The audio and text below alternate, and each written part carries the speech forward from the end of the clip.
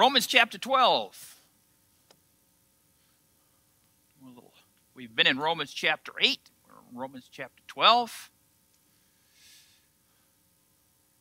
Our series has been on powerful living.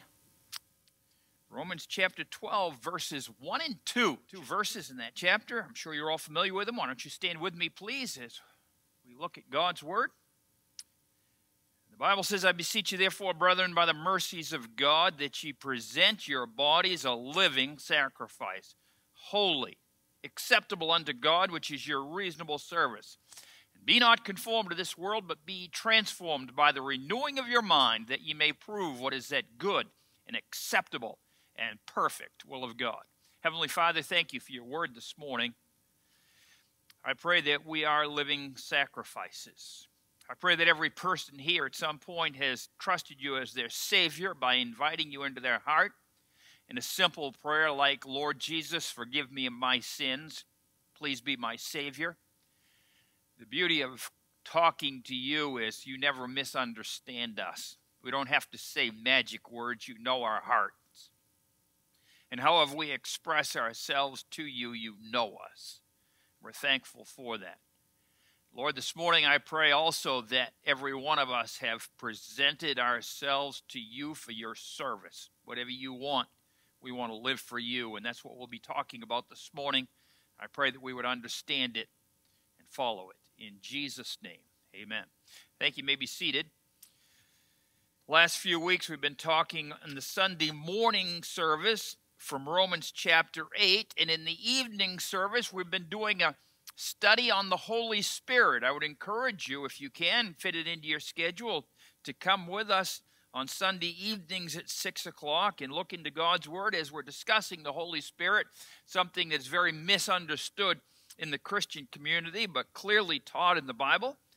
And you can't have powerful living apart from knowing Christ as your personal Savior and having the Holy Spirit fill you and control you.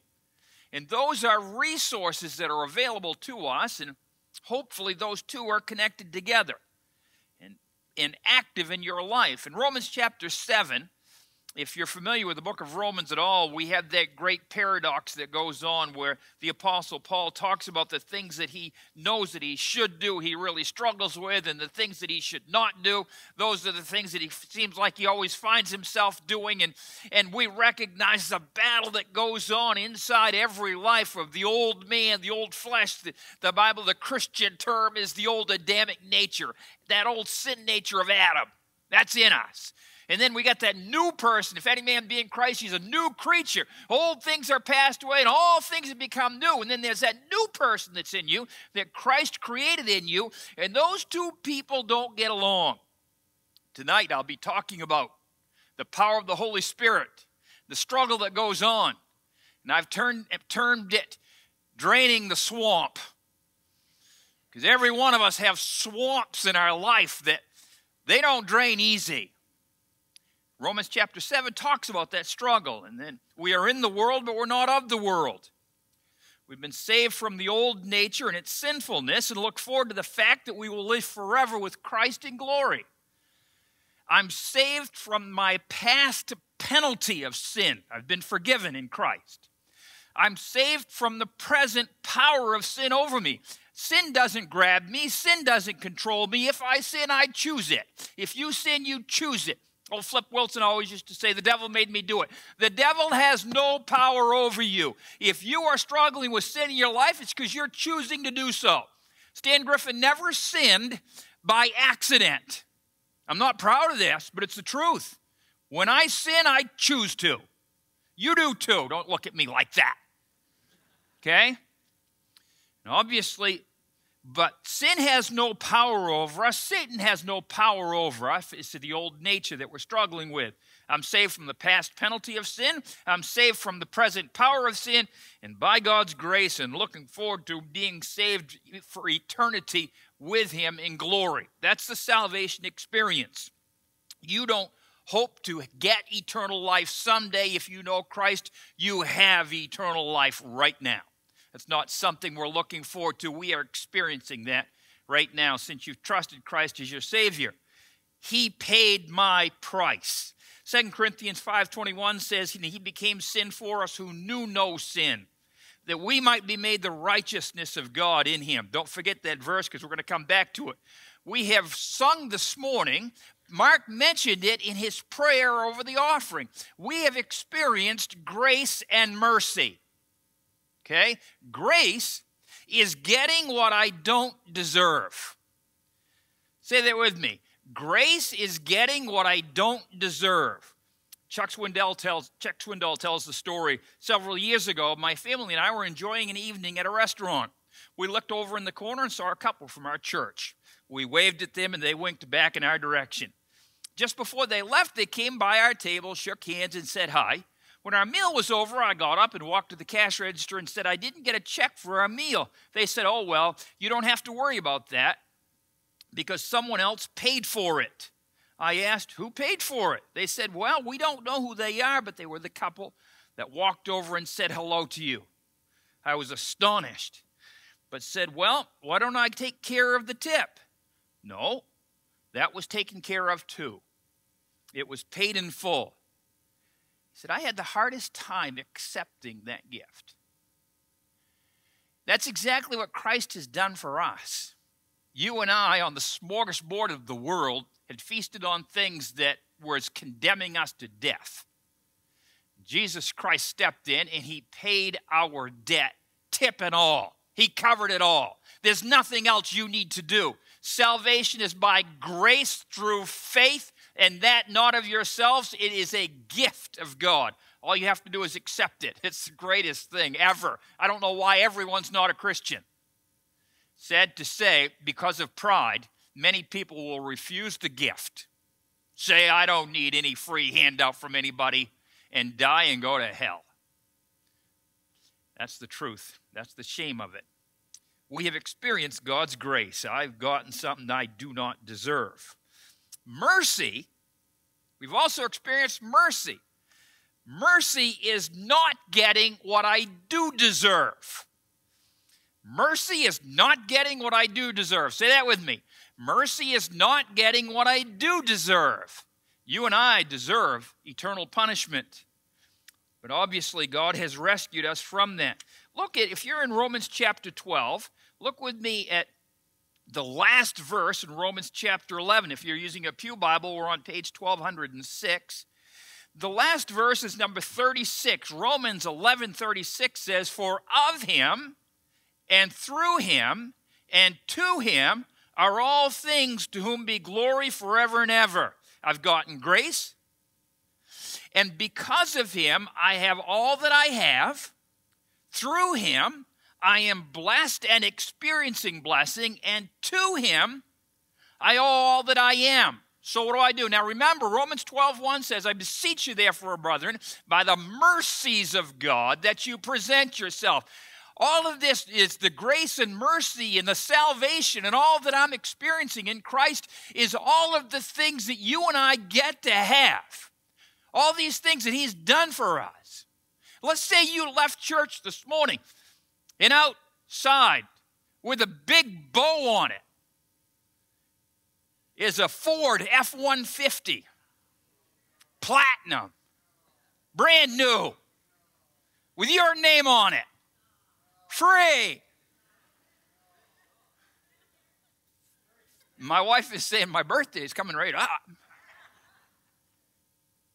It's for you. What would you who who did this? What can I do? I'm not kidding. If you feel so led, any one of you, folks, more than, of course, Pete would want some Silverado thing or other. Whatever, you, you name it, whatever it is, does not compare. All the golden fort, whatever, Bill Gates' money, Jeff Bezos, eh, anybody you name it, blank check, anything. Nothing compares to what Jesus Christ has done for us on the cross of Calvary grace and mercy and eternal life. You and I have not seen it yet, but I'm telling you, Eye hath not seen nor ear heard, neither entered into the heart of man the things that God hath prepared for those that love him. You and I have incredible wealth in Christ on reserve, waiting for us. For when we get there, for all eternity, we will be singing His praises, walking around. There's no time in heaven, but the equivalent of thousands of years just saying, Wow, wow, wow, wow. Say it with me. Wow. It's going to be incredible. Nothing compares to it. And so, you and I, if we're thinking about this at all, ought to be saying, What can I do? The Bible tells us present yourself. Present yourself. We sing, All that I am and ever hope to be, I owe it all to thee. To God be the glory. That's exactly right. The NIV, if you have an NIV Bible this morning, Romans 12 1 reads, Therefore I urge you, brothers, in view of God's mercy. A mother once approached Napoleon seeking a pardon for her son. The emperor replied that the young man had committed a certain offense twice, and justice demanded death. She said, But I don't ask for justice, the mother explained. I plead for mercy. But your son does not deserve mercy, Napoleon replied. Sir, the woman cried, it would not be mercy if he deserved it. And mercy is all I ask for. Well, then the emperor said, I will have mercy. And he spared the woman's son. In view of God's mercy, present yourself. Say that with me. Present yourself. There are many motivations for applying for or joining certain establishments there was an ad campaign that said, remember, membership has its privileges. I, I'm slightly offended by the next one, but I've gone to a point in my life where the AARP is calling quite a lot, wanting me to join. That's not going to happen. But of course, they'll talk about all the things that you get by being a member. AAA is the same way. If you need a free tow, well, whatever it is, you get the idea. But let me tell you something. You don't present yourself to God in Romans chapter 12 because of the things you can get in the future. You present yourself in Romans chapter 12 for what He's done for you in the past. You and I deserve nothing more. We've already gotten more than we deserve in benefits. And I notice in America today, and I'm, please don't, do not. I love our soldiers, I love our men in uniform. But there was a time where people joined the military because they loved their country and wanted to stand for it and the flag and all that it represented. Now it seems like, boy, they are, oh, boy, I'm going to join this because I'm going to get this, I'm going to get this, I'm going to get this, I'm going to get this, and I'm going to get this. And I've noticed, and it's not just the military, please don't, I'm, I'm probably going to, it, I've noticed that whatever we join now, it's generally for selfish reasons, not because it is a worthwhile cause. And I think the more and more godless we become as Americans, the more selfish our desires become. And you and I are seeing some of that. I don't step forward and present myself to Christ for what I'm hoping to get in the future. The picture of the presentation, present your bodies a living sacrifice, is taken from the Old Testament sacrifices. Old Testament theology required the presentation of a sacrifice. It had to be without blemish, perfect, fit for the Lord. It was a picture of, of Christ's sacrificial, sinless death on the cross. Remember, we already quoted the verse He became sin for us who knew no sin. Christ was perfect, and He was that perfect sacrifice. Now you and I are called to be a living sacrifice. The sacrifice of death has been paid by Jesus now we are a picture of the life of Christ. Romans 8, remember, says, There is therefore now no condemnation in Christ. So, how do I present myself a living sacrifice? What's that look like? How, is, how can I be a sacrifice? Well, I think Hebrews 13 teaches that. And if you'll go with me to Hebrews chapter 13, we'll finish in this section of God's Word. Hebrews chapter 13. What does a sacrifice, a living sacrifice, look like? That's page 1304 if you're using a Pew Bible. Hebrews 13, 13, 14, 15, and 16. I've got four things I'm going to show you that you and I do as a living sacrifice. Hebrews 13 and verse 13 says, Let us go therefore unto him without the camp, bearing his reproach. The sacrifice of prestige. You know, when you call yourself Christian, when you say you're a follower of Jesus Christ, you're putting yourself in a group of people that's not necessarily celebrated. I noticed that we've got a Supreme Court nominee going on right now, and one of the things they want to go after about her is her faith in Christ. That ought not to surprise you. Jesus said they're going to hate you because they hated me first. I happen to think that they hate our president because they hate you and I.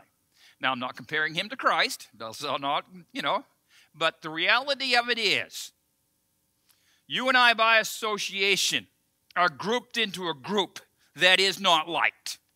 And Satan stokes the hate for Christians every chance he gets. You and I, as a living sacrifice, bear the reproach of being a Christian. And let me tell you something, I don't mind that one bit. I'll gladly associate myself with my Savior rather than some of the others that want supposedly are your friends or supposedly are sticking up for you. Don't you believe it for a second. Number one, a sacrifice of prestige in verse 13, bearing his reproach. Let's look at verse 14. For here we have no continuing city, but we seek one to come. The sacrifice of position. You and I are pilgrims. I live at 271 Griffin Road in Levant. You can send all your checks and notes to that address if you'd like. But anyway, 271 Griffin Road, Levant is my house. I pay the taxes on. Fact is, it's not my house. It belongs to the government. When I stop paying my taxes on it, the government takes it back. You really don't own anything. You're just paying rent on it. When you can't afford the rent anymore, they'll take it from you. Now, why did I say that? I don't know.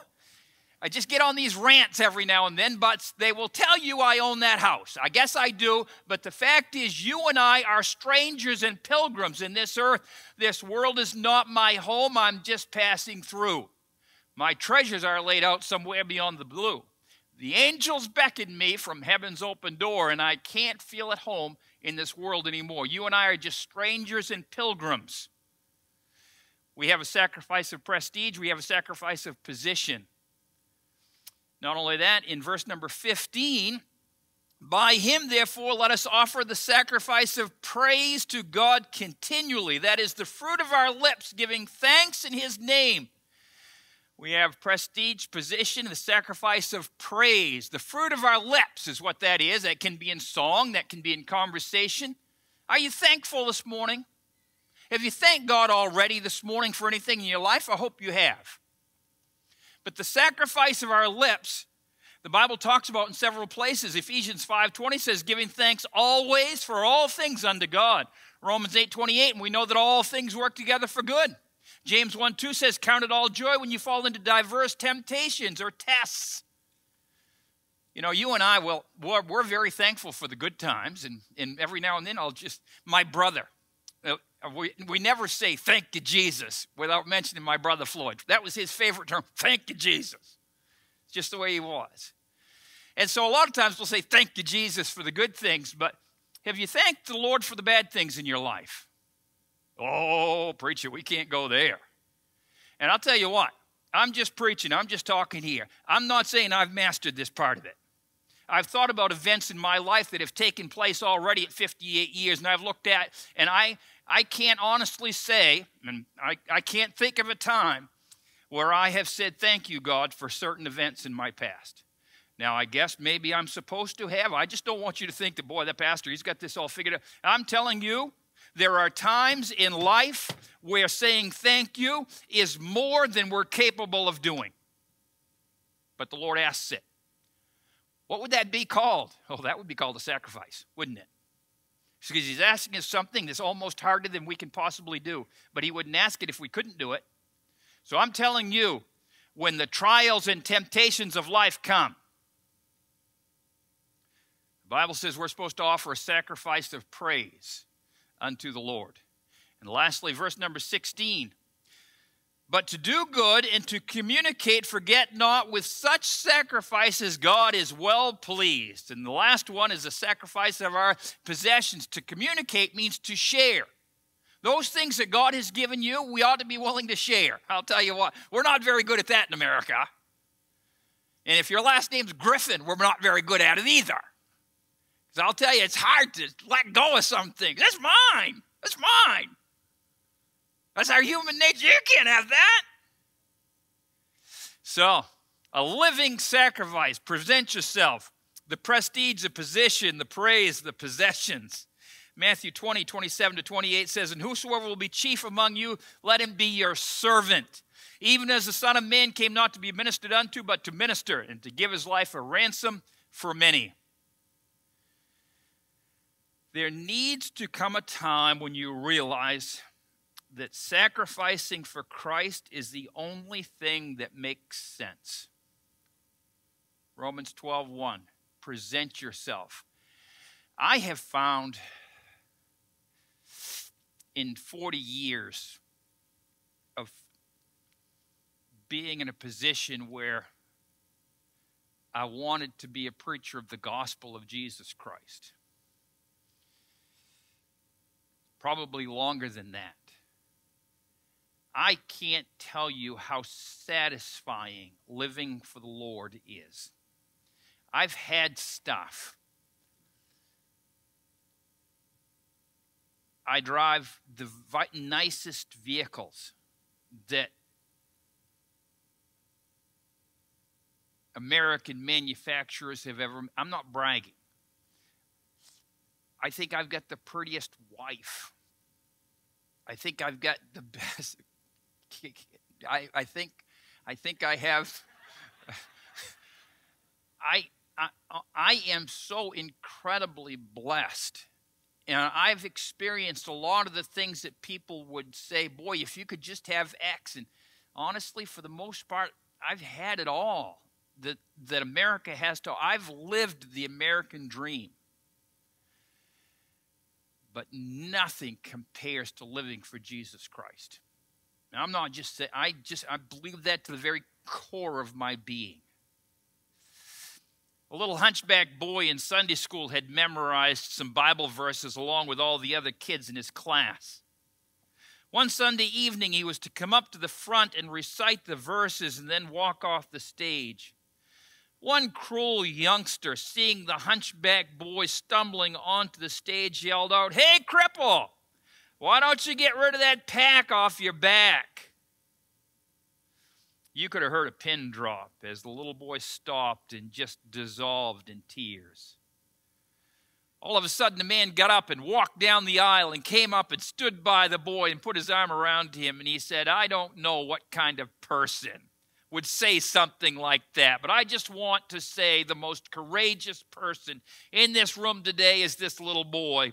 You see, he's my son and I'm proud of him. With that, he reached down and picked up his son and carried him back to his seat. The world will scoff at us as ignorant, unintelligent, deformed, unloved, and uncared for, but don't you believe it. There's a God in heaven that sent his son that puts his arm around you and says, I'm proud of you. You remind me of my son. And with that, he carries you on. Our Heavenly Father, there is no sacrifice too great for the grace and mercy that we have already received. You have showered your blessings on the Cornerstone Baptist Church and on the members of it. We are privileged to be called Christian. We are privileged to know that our sins are forgiven and we have a home in heaven. For those of us that have our family with us, we are privileged to be a dad, to be a mom, to be a grandparent. Whatever our title can be claimed that would be true. We need not exaggerate about the things that we've accomplished or the people that we've met. If we've met Jesus Christ, it's greater than Donald Trump or Barack Obama or any name that we could fill in the blank with. We are somebody because God Almighty is our Father and Jesus Christ has paid our debts. And Lord, I hope that we would just catch a glimpse of the incredible gift that we have been given in salvation and forgiveness and a home in heaven, and the comfort and joy and trust that we have in you. And the least that we can do, it's a reasonable thing. It's not unre- it's a reasonable thing to present ourselves a living sacrifice. Lord, I pray that every person here, under the sound of my voice this morning, has said, Lord Jesus, come into my heart and be my Savior at some point in their life. And Lord, if not right now, I pray they would say, Jesus, come into my heart, forgive my sins, be my Savior. And then, Lord, for those that know you already, I pray that we would say, Lord Jesus, I present myself to you. Use my life in whatever way you want. Lord, we'll open the altar. We'll give folks a chance to respond. If we've not presented ourselves before, I pray today we would. If maybe we have in the past, but we've taken ourselves back off the altar, Lord, I pray that we'd put ourselves back in the running as a living sacrifice for you. Use this invitation, please, for your honor and glory. In Jesus' name, amen.